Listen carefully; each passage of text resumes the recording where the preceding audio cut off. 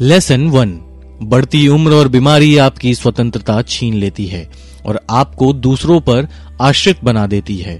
हम सभी चाहे अनचाहे अपनी मौत और बीमारी के विषय में हमेशा सोचते ही रहते हैं और जैसे जैसे उम्र बढ़ती जाती है, मौत और बीमारी का विषय हमारे दिमाग में बार बार आता है।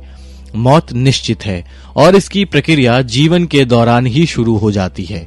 जैसे जैसे हमारी उम्र बढ़ती है, हमारा शरीर कमज़ोर होते जाता है। किसी भी छोटी मोटी बीमारी से हमारी रिकवरी का समय लगातार बढ़ते जाता है। हमारे दांत गिरने लगते हैं, दिल कमज़ोर होने लगता है, हड्डियाँ और मांसपेशियाँ कमज़ोर होने लगती हैं। यही नहीं, इन सब के साथ हमारा दिमाग भी हमारा साथ छोड़ने लगता है। हमारी याददाश्त कमज़ोर होने लगती है। जैसे जैसे आपकी उम्र बढ़ती जाती है, शरीर आपका साथ छोड़ते जाता है। वैसे वैसे दैनिक दिनचर्या के सामान्य कार्य आपको कठिन लगने लगते हैं और आप इन कामों के लिए धीरे धीरे दूसरों पर डिपेंड हो जाते हैं, जिसके कारण आपकी स्वतंत्रता से आपके हाथ चले जाते हैं।